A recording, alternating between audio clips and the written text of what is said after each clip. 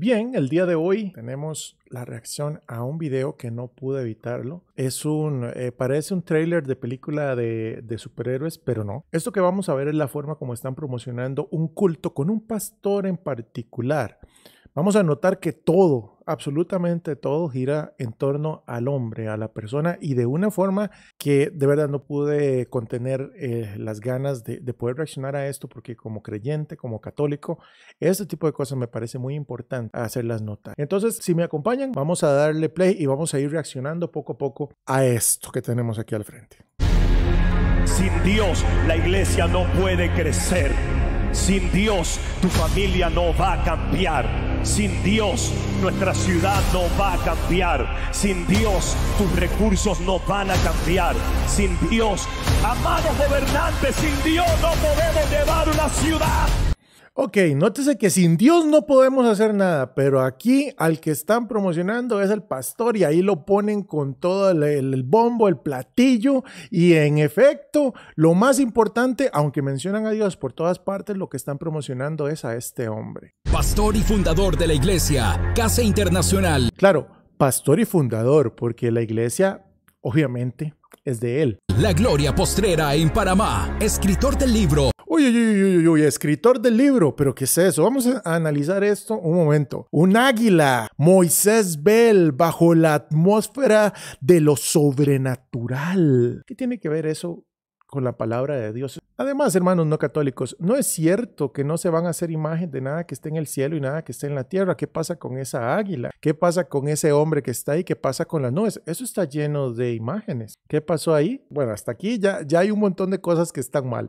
Bajo la atmósfera de lo sobrenatural, poseedor de una unción y un fluir sobrenatural del... Poseedor de un fluir sobrenatural. O sea, ahí no hay Espíritu Santo, ahí no hay... No, lo que pasa es que esta persona, este caballero que está aquí, él, él como persona, él tiene un fluir sobrenatural. No, meten al Espíritu Santo en esto, meten a lo sobrenatural. Ya ahí dijeron un montón de cosas y si ustedes me preguntan a mí, lo que están tratando de hacer es de jalar gente que no necesariamente cree en Dios, pero que sí cree en aspectos sobrenaturales y este tipo de cosas. Puro marketing, mis hermanos. Cielo en profecía milagros y prodigios.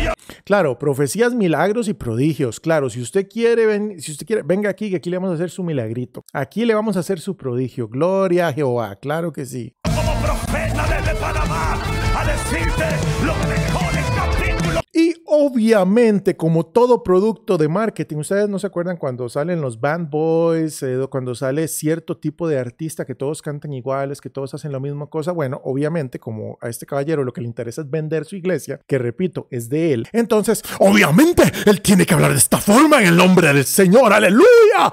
Porque si no, nadie le va a comprar el producto.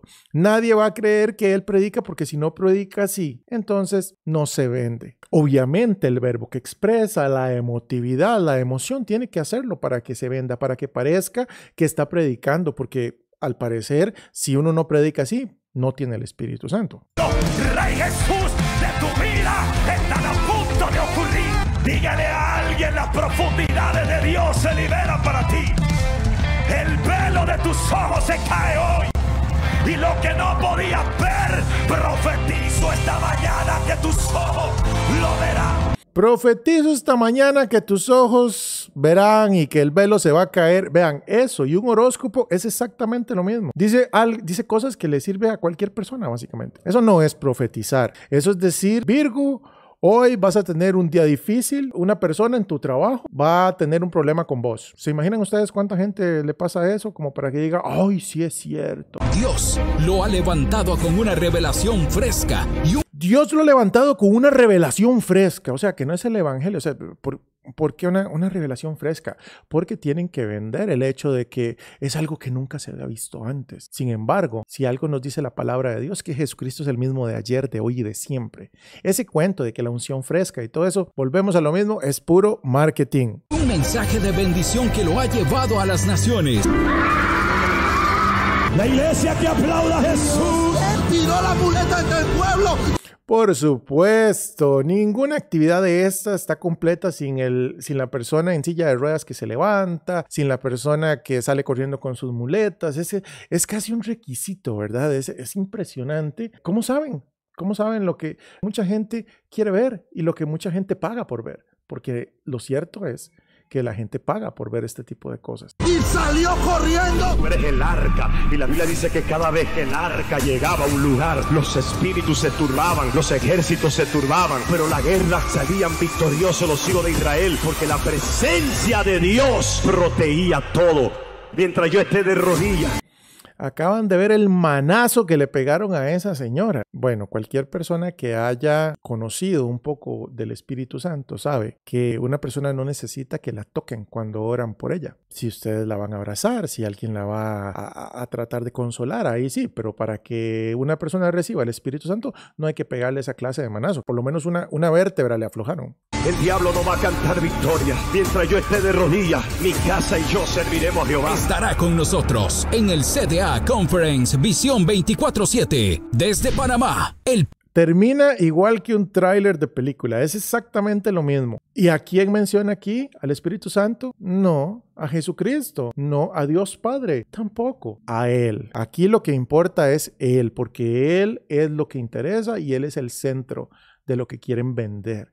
Hermanos, esto es, o sea, pobrecita la gente que cree en esto, que va precisamente guiado por un, un tipo de anuncio de esto. Vamos a ver si me faltó algo aquí en el play. pastor y profeta Moisés Bell.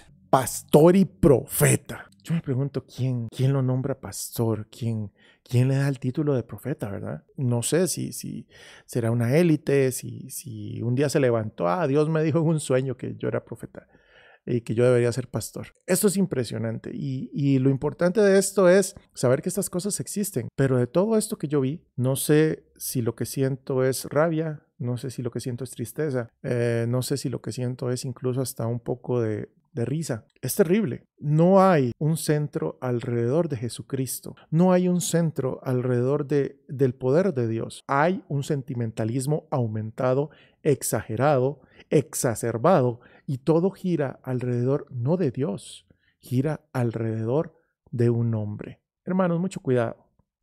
Dios no está en los Avengers ni en las películas de superhéroes. Esto es un espectáculo y estoy seguro que tiene un costo interesante que me voy a averiguar y estoy seguro de que además del costo va a haber una, una ofrendita y estoy seguro de que esto no viene de Dios. Algo importantísimo aquí es que si nos fijamos en lo que dice la, publicación, dice 2, 3 y 4 de noviembre. O sea, son esos tres días. Ojalá usted vaya el día que van a hacer los milagros y que van a hacer este, los grandes prodigios y todas las cosas maravillosas que este profeta va a hacer, porque lo hace él. Si se fijan en todo esto, no lo hace Dios. Lo hace Él, porque Él tiene una unción fresca, porque Él tiene el poder de lo sobrenatural en su vida.